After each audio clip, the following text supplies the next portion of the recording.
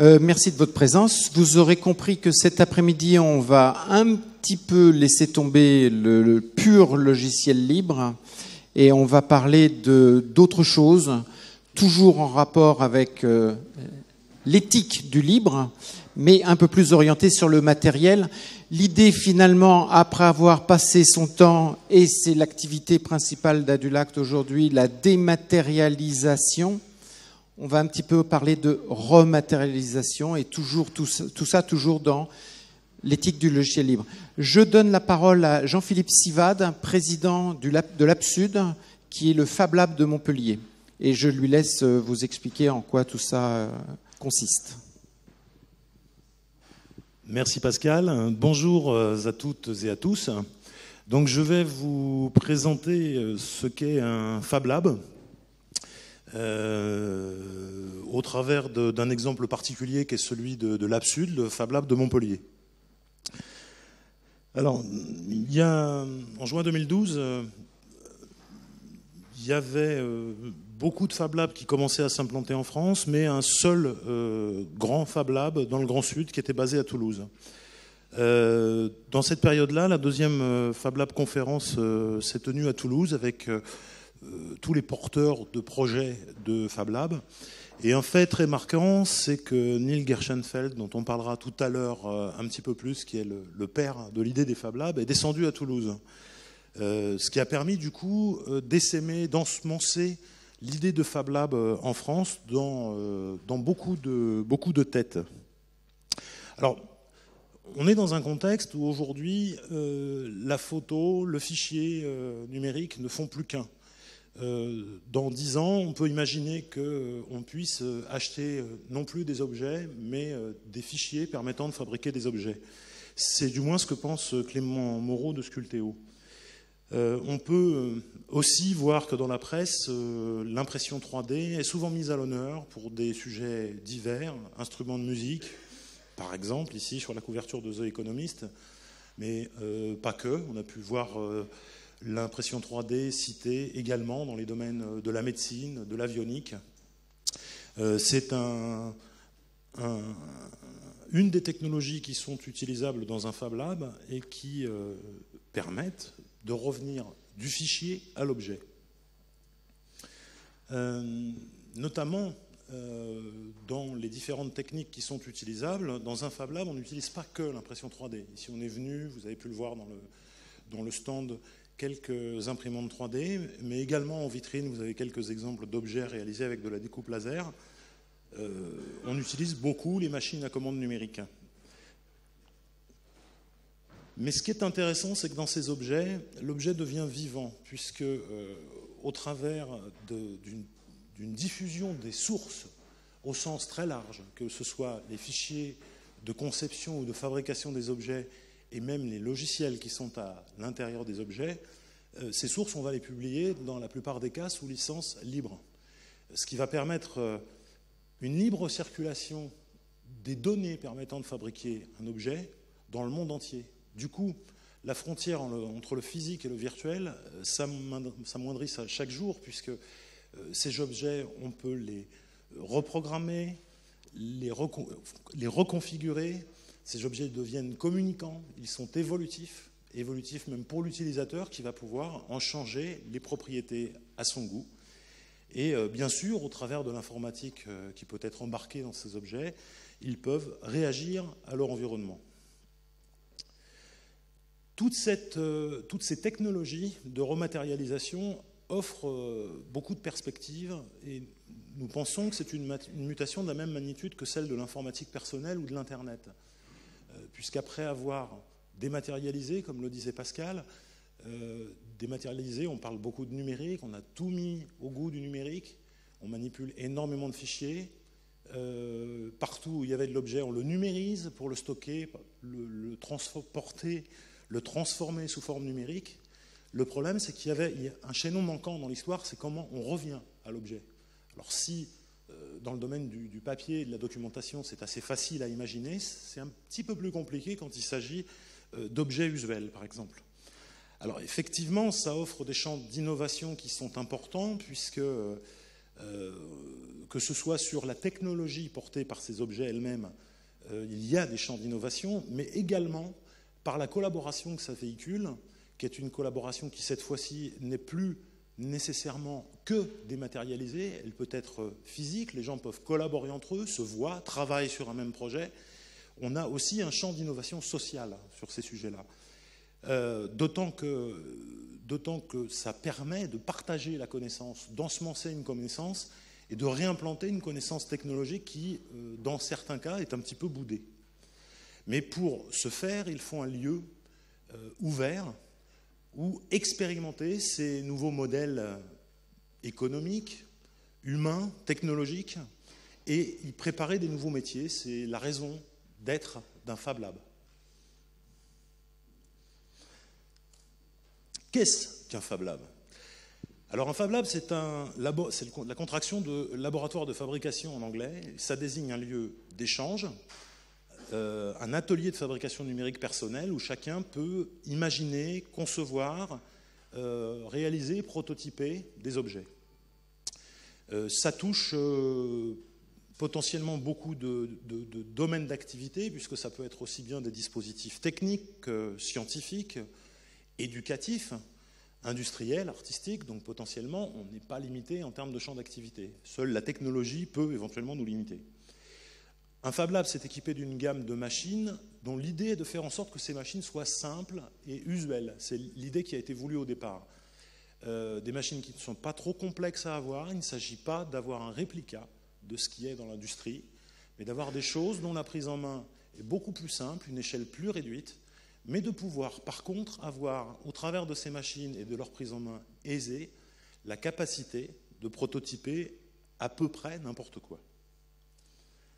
Alors, c'est né au, MIT en 2003, euh, puisque le MIT a, créé un laboratoire interdisciplinaire qui s'appelle le CBA, Center for Bits and Atoms, et euh, avait mis en 2001 dans ce laboratoire un, programme visant justement à accompagner la rematérialisation. C'est-à-dire qu'ils avaient déjà pressenti qu'après le numérique, il allait falloir relier tout ça, la dématérialisation, le traitement numérique, puis ensuite la rematérialisation.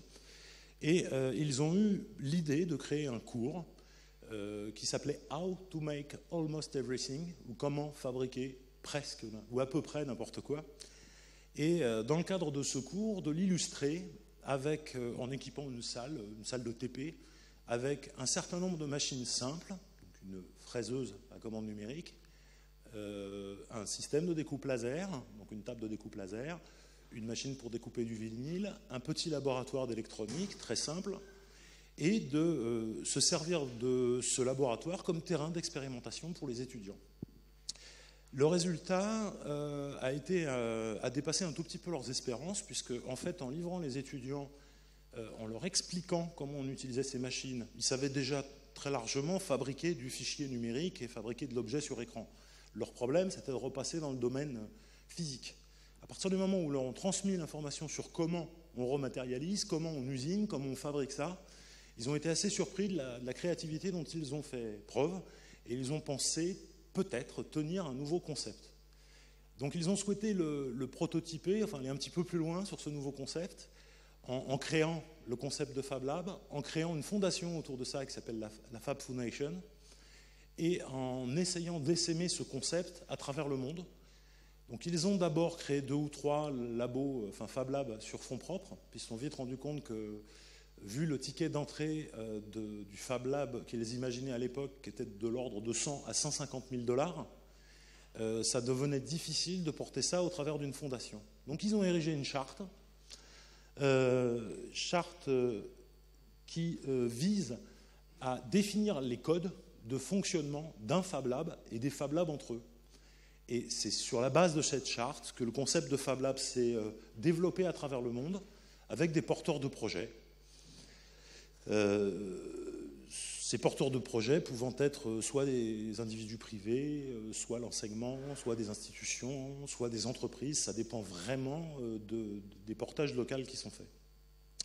Donc un Fab Lab, c'est surtout un lieu de transmission et d'échange qui vise à remettre l'individu en capacité de créer plutôt que de consommer. Donc ça, c'est un point qui est très important, puisque c'est vrai qu'on est aujourd'hui dans une société de consommation, on a un objet, on l'achète, il nous plaît, euh, il ne marche plus, on le jette, on en rachète un autre. Euh, on a un petit peu oublié euh, comment on fabriquait tout ça.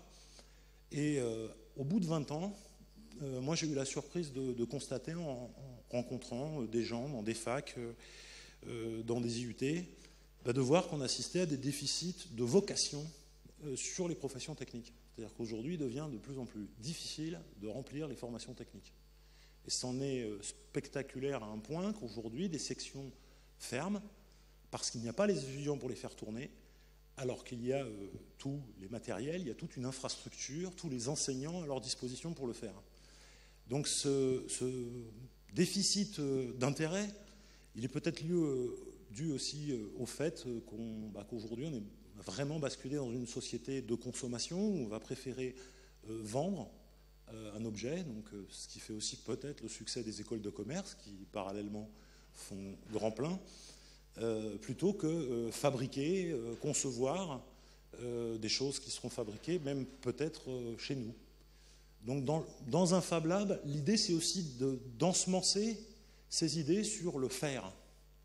Et cette, ce faire, euh, ce que les Américains appellent make, aujourd'hui, c'est une énorme lame de fond qui est partie des États-Unis, euh, d'abord sur la vague du do it yourself, faites-le vous-même, et puis ils ont découvert les bienfaits du travail collectif, et on parle maintenant de DIWO, donc le do, it with others, donc faites-le ensemble. Le Fab Lab, il est au cœur de cette philosophie du do it with others. Je reviens au Fab Lab. Donc c'est une structure qui est euh, collaborative. Donc j'insiste bien sur ces notions de collaboration, je pense que ça c'est vraiment le point clé. Elle est ouverte, pardon, elle est ouverte à tous. Ça aussi c'est un autre des points clés du, Fab Lab. Dans la charte des Fab Labs, l'idée c'est de faire en sorte que ce ne soit pas euh, une structure qui soit au cœur d'une entreprise et qui ne soit ouverte qu'à ses personnels, ou au cœur d'un labo de recherche d'une faculté et qui ne soit ouvert qu'à ses étudiants, mais vraiment une, structure qui soit ouverte au plus grand nombre, de manière à ne pas avoir de frein. Alors évidemment, euh, il n'y a pas de prérequis du novice à l'expert, du jeune au retraité, afin vraiment de construire un lien sociétal transversal. Alors cette notion de lien sociétal transversal, elle est, étonnante parce que c'est quelque chose qu'on découvre quand on, vient dans un Fab Lab. Euh, et même ça a surpris les fondateurs euh, du Fab Lab de Montpellier, puisque, et de tous les Fab Labs en règle générale d'ailleurs, puisqu'on a vu arriver des populations qu'on n'aurait pas du tout imaginé euh, venir fréquenter ce type de lieu, s'asseoir à une table, faire des projets ensemble et créer des liens. Des liens entre des métiers, entre des horizons, des origines différentes et des âges différents. Et ça, c'est très valorisant intellectuellement parce qu'on se dit, euh, voilà, on, a fait quelque chose pour la société. Alors qu'est-ce qu'on fait dans un Fab Lab? On apprend, on peut transmettre aussi, parce qu'on ne vient pas qu'apprendre. L'idée, c'est qu'on vient soi-même avec un bagage, de le transmettre. Ce qu'on aura appris dans un Fab Lab, l'idée, c'est aussi de le transmettre, d'échanger. On peut créer, on peut innover, euh, bien sûr prototyper sur des projets professionnels, des projets industriels, mais aussi sur des projets personnels, il n'y a pas de limite. Acquérir une méthodologie et un savoir, et surtout collaborer et travailler en équipe. Alors un Fab Lab, c'est euh, un lieu euh, qui, va permettre de concevoir et prototyper un nouveau concept, un bien de consommation, un objet intelligent, une œuvre d'art, une machine, un outil. Il n'y a pas de limitation euh, à ce qu'on peut y faire, à part l'imagination. Euh, on peut y apprendre la conception et la fabrication assistée par ordinateur, l'électronique, l'informatique embarquée, la mécanique. Donc on est vraiment sur un ensemble de sujets qu'aujourd'hui on n'enseigne pas de façon globale à l'école, on les enseigne par filière de façon très verticale. L'idée aussi, c'est de faire en sorte qu'on puisse acquérir des compétences peut-être plus larges que ce qu'on a pu acquérir à l'école, dans une école d'ingénieurs, où, on va apprendre que l'informatique embarquée, ou que l'informatique de haut niveau, ou que la mécanique. Et on se rend compte dans l'industrie qu'on a des gens qui sont tellement monolithiques, qui, sont dans leur service, certes, des experts, mais pas toujours en capacité de voir ce que font les autres et d'échanger avec eux. Et aujourd'hui, dans certaines disciplines, euh, bah, c'est vraiment problématique parce que j'ai travaillé pendant dix ans dans une société qui fabrique des compteurs de cellules sanguines. Euh, cette société était dirigée euh, par, au niveau de la R&D par quelqu'un d'assez visionnaire et extrêmement polyvalent et qui touchait à énormément de choses. Et le problème, le propre d'un compteur de cellules sanguines, puisqu'on va prendre du sang, on va le diluer, on va faire des mesures physiques dessus, on va calculer, afficher les résultats. Donc on a un peu toutes les disciplines. On a de la pneumatique, de l'hydraulique, de la mécanique, des fluides, de la chimie pour les réactifs. Donc c'est quelque chose d'assez énorme. Et on se rend compte qu'aujourd'hui, ces sociétés-là, la clé de leur succès, ça a été d'avoir une ou plusieurs personnes qui étaient multicompétences. Parce qu'elles ont pu avoir une vision globale du projet sans s'en référer à une équipe de chefs de projet. C'est un peu à l'inverse euh, de ce qu'on enseigne aujourd'hui. Et le problème, c'est que ces gens-là, j'en parlais récemment avec la même personne qui m'a dirigé pendant 10 ans, euh, pratiquement 15 ans après, il a monté une autre entreprise et il doit maintenant partir à la retraite et assurer sa succession. Il est incapable de trouver quelqu'un de suffisamment polyvalent. Il a donc remplacé son poste par une équipe. Peut-être que le Fab Lab peut aider à trouver des solutions de ce type parce qu'il y a, pour en avoir discuté avec plusieurs chefs d'entreprise, il n'y a pas que dans ce genre de concept, de contexte où on peut être bloqué euh, sur la transmission. Euh, bon, bien sûr, dans un Fab Lab, on peut travailler sur de multiples matériaux, favoriser la créativité, euh, l'innovation collaborative, ça c'est clairement dans les gènes, et surtout dans une notion de proximité. Alors, pour parler un peu plus du Fab Lab Labsud, nous, nous, sommes une association loi 1901, donc on n'est pas face à une structure commerciale. Euh, et sommes accompagnés euh, par l'agglomération de, Montpellier depuis, euh, depuis le milieu de cette année. L'agglomération nous, accompagne notamment dans la mise à disposition d'un lieu de, 270 mètres carrés qui est en plein dans la zone d'activité économique de Montpellier et qui bah, nous a permis d'asseoir une plateforme technique assez conséquente avec des moyens en usinage à commande numérique, de la découpe laser, des imprimantes 3D. Et donc cette capacité euh, exigé, on va dire, par l'OMIT pour euh, devenir un Fab Lab labellisé. Nous sommes euh, régulièrement engagés puisque l'idée c'est de collaborer aussi bien avec les mondes de l'éducation, de l'entreprise, aussi bien que le grand public. C'est d'être vraiment le, chaînon qui va faire la liaison entre ces trois mondes. Euh, offrir évidemment aux adhérents un espace de travail et de ressources communes destinées à la réalisation de leurs projets. Euh, favoriser encore une fois la, transmission du savoir-faire et des connaissances. Alors, pour le favoriser, l'idée, c'est effectivement de mettre en place des conditions favorables, mais pas que. Euh, là où, on se rapproche aussi beaucoup de la philosophie du, libre, dont certains d'entre nous d'ailleurs sont, sont, issus, euh, bah, c'est d'essayer de faire en sorte que les réalisations euh, qui sont issues des travaux soient euh, republiées également sous licence libre. Donc des, travaux d'adaptation ont été faits pour adapter la, GPL vers du matériel, puisque ce n'est pas tout à fait adapté pour la diffusion du matériel. il existe aujourd'hui de plus en plus de forges, donc d'espaces de diffusion de sources du matériel. On a aujourd'hui de plus en plus de logiciels libres qui sont susceptibles de produire des formats libres également, nous permettant de manipuler du matériel, des logiciels de CAO, des logiciels de, travail sur euh, l'impression 3D par exemple.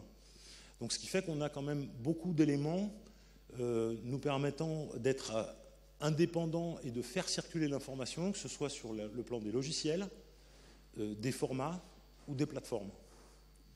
On a rigoureusement les mêmes problématiques de diffusion de l'information que dans le domaine du logiciel.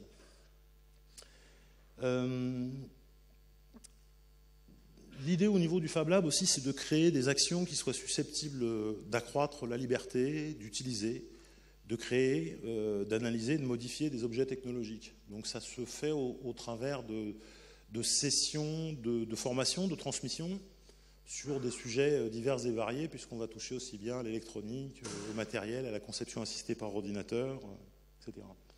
Et sur le plan plus général, bah, c'est clairement de, d'agir sur la promotion des, sciences et techniques. bon, j'ai présenté le lieu tout à l'heure. Il est un, peu plus dans le détail. C'est un lieu qui est structuré en, plusieurs espaces.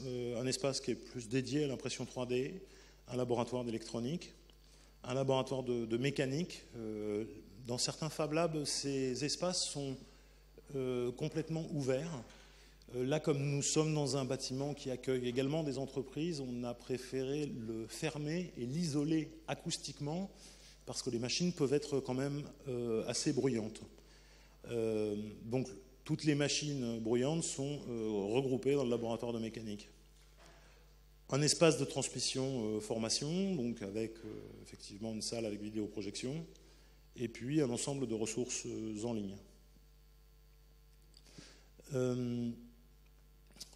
Je pensais que ce slide avait disparu.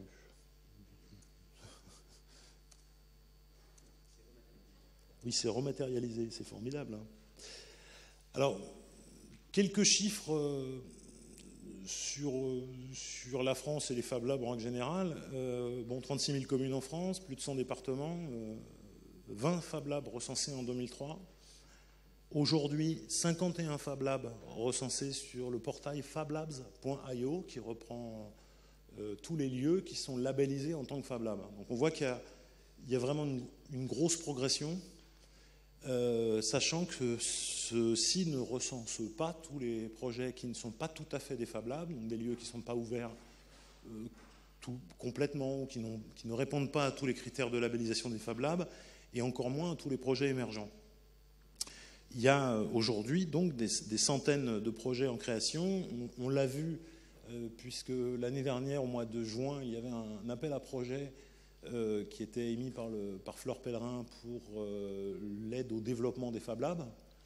Et donc le gouvernement a été très très surpris puisque ben, on avait 145 réponses euh, d'accompagnement au développement. Et dans ces 145 réponses, il n'y avait qu'une dizaine de Fab Labs existants. Donc il y, avait a vraiment une grosse émulation autour de ces Fab Labs.